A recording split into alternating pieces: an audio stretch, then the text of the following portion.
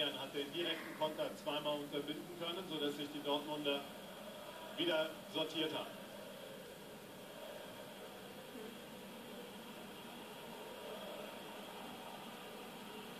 Heuberg.